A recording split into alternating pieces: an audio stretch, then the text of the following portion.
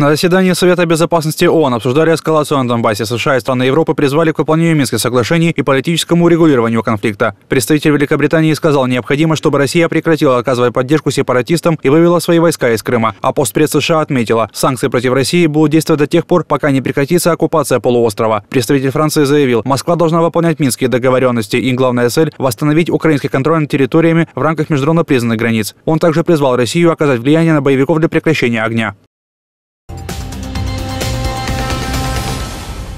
Сенат Румынии рассмотрит обращение Верховной Рады о признании Голодомора 1932-33 годов преступлением и геноцидом против украинского народа. Об этом заявил председатель Сената Келин Попеску Туричану на встрече с временным поверенным в делах Украины в Румынии Евгением Левицким. Собеседники также обсудили эскалацию напряженности на Донбассе. Представитель нашей страны выразил надежду, что парламент поддержит территориальную целостность Украины.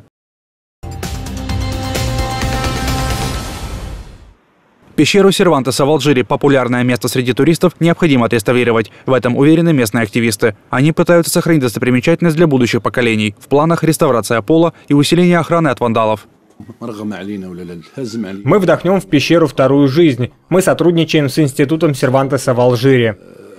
Реставрацию частично финансирует частная испанская компания. Пещера находится на плато алжирского региона Белуиздат. Испанский писатель Мигель де Сервантес посещал это место несколько раз, будучи в плену. На территории современной столицы Алжира Сервантес провел пять лет. В руки к алжирским корсарам Мигель и его брат Родриго попали в 1575 году. Они возвращались из Неаполя в Барселону на борту галеры «Солнца». Ему было 28 лет. Когда он вышел из плена, ему было 33. Это очень важный период его жизни. Сложно найти свидетельство его пребывания в Алжире, но, к счастью, сохранилась пещера, в которую он бежал вместе с 14 компаньонами. Из нее они выходили в город, чтобы получить какие-либо новости. Сервантеса освободили в 1580 году после того, как за него заплатили выкуп. Эксперты считают, что время в плену оказало большое влияние на работу писателя, а также на его самые известные литературные произведения, такие как «Дон Кихот». Пещера Сервантеса – это историческая связь с великим писателем, и она очень ценная. Она позволяет не забывать общую с Испанией историю. Он смог бежать и написал удивительное произведение. Обратно в Испанию он забрал часть алжирской атмосферы.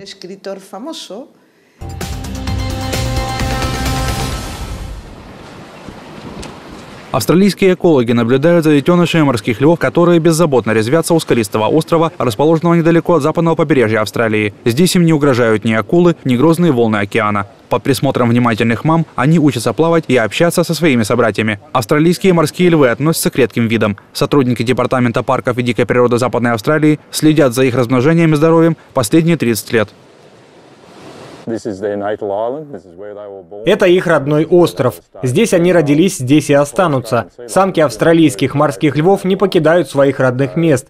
Здесь мы в основном видим тетушек, мам и бабушек. Они все родственники. Недалеко от этого острова находится еще пять колоний морских львов. Экологи периодически пересчитывают животных. Обычно мы можем отследить, увеличивается ли число особей, является ли их рост стабильным или снижается. В настоящее время у берегов Западной Австралии насчитывается около 3000 морских львов. Их численность осталась такой же, что и три десятилетия назад. Но и это природозащитники считают хорошим знаком.